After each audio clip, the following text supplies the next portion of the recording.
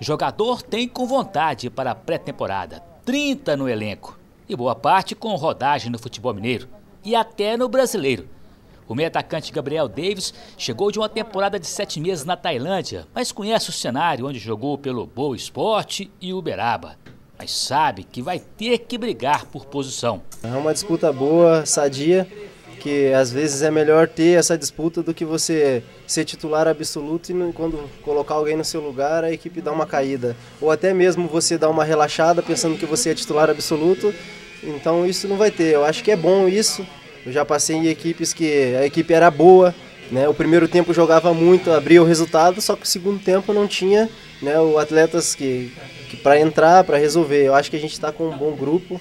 Quem também vem de uma Série B de brasileiro com o boa é o volante Igor. É um dos jogadores acima dos 30 no grupo. Velho conhecido do técnico Fajardo. Ah, atuando do meio para trás, pode contar comigo em qualquer posição, né? Já atuei em todas as posições ali do meio para trás, né? O Fajardo sabe muito bem disso, as equipes que eu passei também foi dessa forma, né? E aqui tem tudo para dar certo. Mas antes de começar definitivamente a pré-temporada, novatos e remanescentes foram chamados numa conversa que a comissão técnica pediu privacidade à imprensa.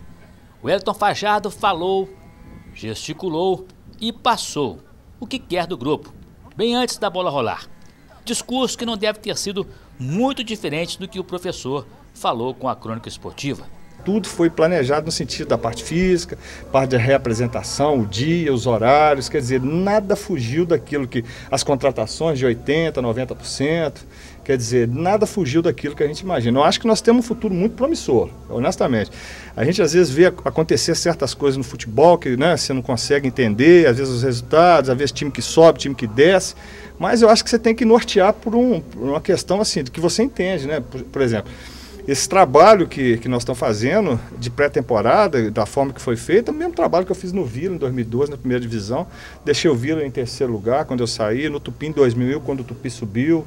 Então, quer dizer, são trabalhos que, além da, da questão científica, que a gente sabe como que deve ser, do mais simples para o mais complexo, da questão de dar uma ênfase à parte física no início, para depois ir tirando parte física para colocar a parte técnica e tática, tudo isso cientificamente já está provado que é o certo. Então, nós estamos, sim, dentro do que é, a gente entende e estudou que é o certo e pela experiência que tem que temos também. Então, eu acho que o futuro do Berlândia é muito promissor, deixar a engrenagem, como eu disse no vestiário agora, deixar a coisa fluir e os deuses do futebol abençoar também, né? Que sem isso também é impossível subir.